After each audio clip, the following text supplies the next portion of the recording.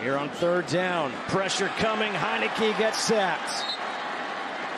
Nowhere to go as two players converged on him. And Jeff Gunter. Two bookends there.